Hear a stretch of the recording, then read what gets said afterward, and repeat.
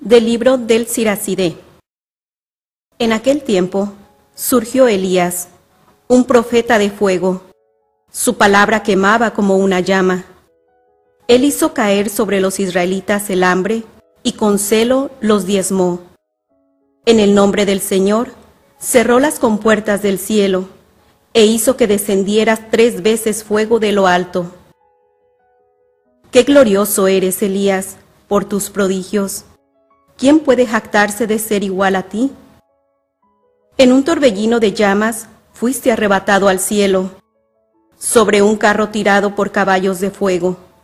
Escrito está de ti que volverás, cargado de amenazas en el tiempo señalado, para aplacar la cólera antes de que estalle, para hacer que el corazón de los padres se vuelva hacia los hijos y congregar a las tribus de Israel. Dichosos los que te vieron y murieron gozando de tu amistad, pero más dichosos los que estén vivos cuando vuelvas. Oh Dios, restauranos, que brille tu rostro y nos salve. Pastor de Israel, escucha tú que te sientas sobre querubines, resplandece, despierta tu poder y ven a salvarnos. Oh Dios, restauranos, que brille tu rostro y nos salve.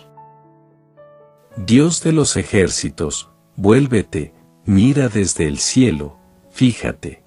Ven a visitar tu viña, la cepa que tu diestra plantó y que tú hiciste vigorosa.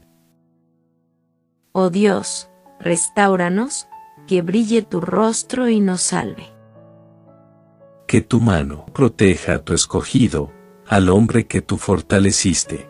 No nos alejaremos de ti, danos vida, para que invoquemos tu nombre. Oh Dios, restauranos, que brille tu rostro y nos salve.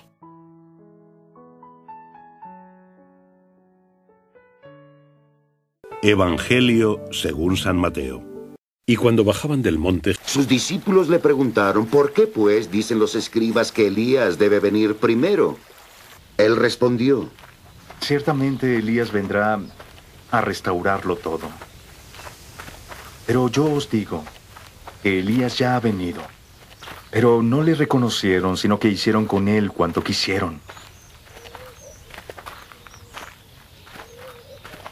Así también el Hijo del Hombre padecerá de su parte. Entonces los discípulos comprendieron que se estaba refiriendo a Juan el Bautista.